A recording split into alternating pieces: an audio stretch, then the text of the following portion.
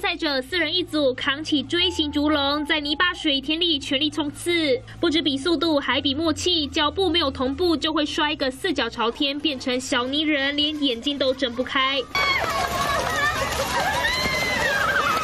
手上拿的竹器叫龙仔狗，只要合力将龙仔狗扛到对岸，就算完成比赛。室外三十五度高温，泡在泥水里，就算全身脏兮兮，也觉得好凉快。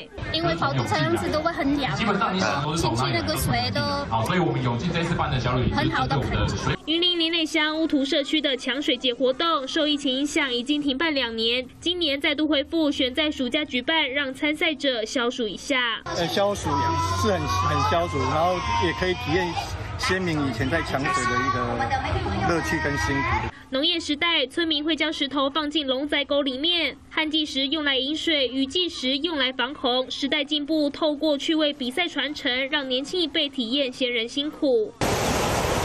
夏季消暑，苗栗通霄滨海游戏区一大早就人气爆棚，民众踏浪、吹海风，还有人搬椅子来，直接坐在海景第一排欣赏蔚蓝风光，成了许多人暑假出游的最佳首选。记者云林台中综合报道。